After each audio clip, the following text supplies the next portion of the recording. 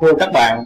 những ngày qua trên khắp các trang Facebook của làng Dân Chủ đồng loạt ba tháng về việc nhà đấu tranh dân chủ ôn hòa của họ là Vũ Văn Hùng đã bị công an gán tội gây rối trật tự công cộng làm cái cớ để bắt giam, xử lý người yêu nước của họ.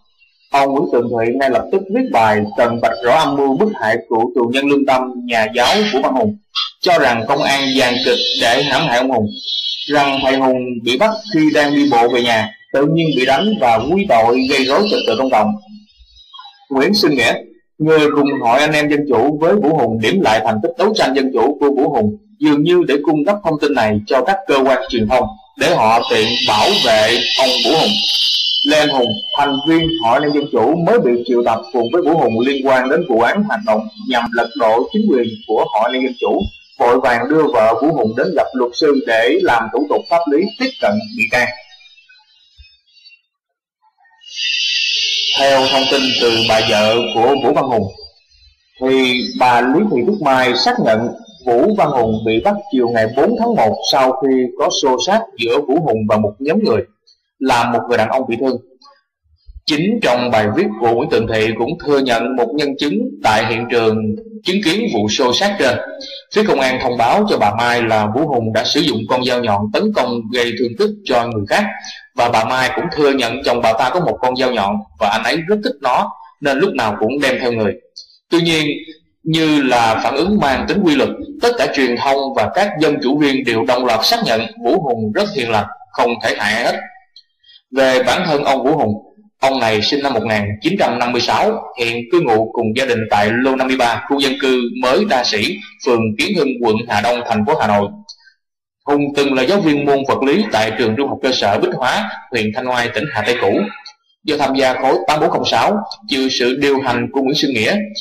đại diện của khối 8406 ở phía Bắc năm 2006, Vũ Hùng và cả khối 8406 ở các tỉnh phía Bắc được Việt Tân thông qua cấp tiền cho Nghĩa tổ chức chiến dịch kêu khẩu hiệu và rải truyền đơn có nội dung chống nhà nước ở Hải Phòng và Hải Dương nên hầu hết đều nhập kho cùng với nhau về tội tuyên truyền chống nhà nước với mức án từ 3 đến 4 năm tù giam.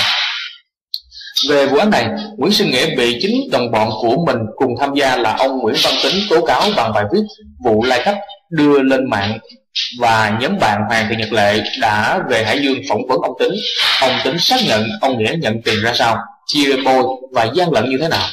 Không chỉ có hành vi này, Vũ Văn Hùng bị kết án và và lôi kéo người tham gia biểu tình ở chợ Đông Xuân. Vụ việc mà ông Tính tố cáo cho vợ chồng Nguyễn Xuân Nghĩa đã thuê dân nghiện hút gần nhà rồi thuê xe chở lên Hà Nội biểu tình cho đông đảo. Sau khi mãn án tù, Vũ Văn Hùng vẫn ngựa quen đường cũ và ngày càng có những hoạt động chống phá nhà nước táo tận hơn. Hùng là một trong những người khởi xướng và tham gia tích cực hội giáo chức Chu Văn An và là người trong cái gọi là ban điều hành gồm Vũ Mạnh Hùng, Nguyễn Thế Hùng, Vũ Văn Hùng, Nguyễn Tiến Dân, Tô Văn Oanh, Vi Đức Hội, Đỗ Việt Khoa, Phạm Minh Hoàng. Hội này được thành lập ngày 5 tháng 1 năm 2016 tại Hà Nội. Báo chí trong nước đã nói rõ về tổ chức này được Việt Tân cấp tiền thông qua Phạm Minh Hoàng. Không chỉ vậy, Hùng tham gia nhiều hội nhóm khác như uh, Hội Anh Em Dân Chủ, Hội Cường Nhân Lương Tâm.